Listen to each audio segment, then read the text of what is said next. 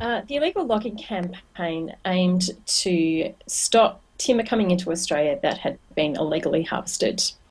Um, we knew people wanted to buy ethical wood and ethical wood products, um, but with timber it's very hard to know. So, uh, what we wanted to do is to get a law up in Australia that made it illegal to, for timber to come in um, that had been illegally harvested.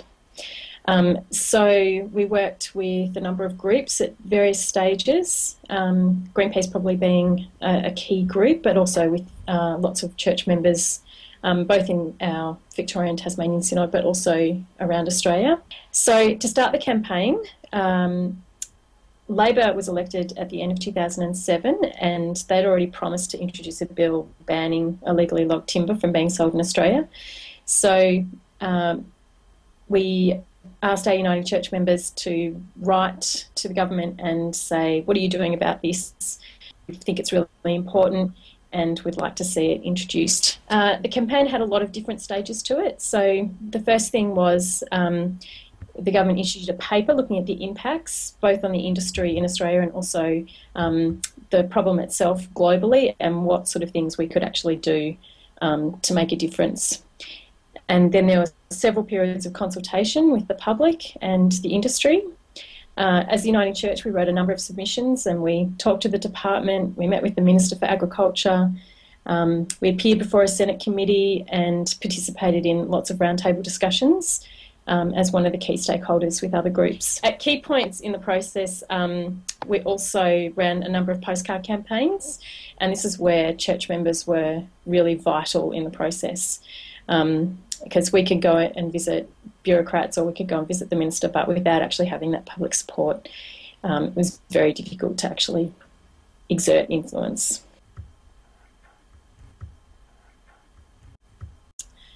So the Justice and International Mission Unit um, took on this campaign out of a consultation that we did around forestry in Australia. And what emerged from that was that illegal logging was actually really important to Uniting Church members.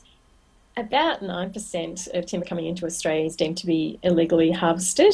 Uh, we don't think it's right for Australians to have, be able to benefit from proceeds of crime, essentially. So it was t- really important that Australia actually join with the EU and the US in creating a law that put an end to illegally harvested timber coming into Australia.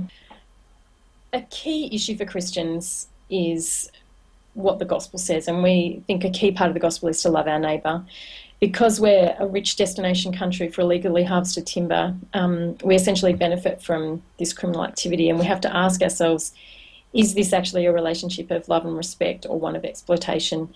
Climate change is also an issue that we feel very strongly about, and because uh, deforestation contributes to about 20% of global greenhouse gas emissions. Uh, this was a way of also working on climate change, but also um, having a tangible impact around illegal logging as well. Um, it also picked up on some of our work around uh, bribery and tax evasion. It also tied into our work on trafficking and human slavery. The campaign achieved uh, the introduction of the Illegal Logging Prohibition Act 2012, um, which makes it a criminal offence to intentionally, knowingly, or recklessly import or process illegally logged timber or timber products. So it means that any business um, importing timber or timber products into Australia have to actually do a due diligence test and make sure that they've got adequate checks and balances in place um, to ensure that what they're sourcing has been legally sourced. It's still very much in the early days of knowing how effective this legislation will be. We've just had introduction of uh, some more regulations. So whenever a law is introduced in Australia, it's it needs to be tested, it needs to be sorted through. Um, it's a very slow process. So we're we're still waiting to see how effective it will actually be. But uh, it's really important, I guess, for us to support the actions that the government is taking to make a difference. But yes, I guess it's a, a chance. Uh, it's a process of wait and see.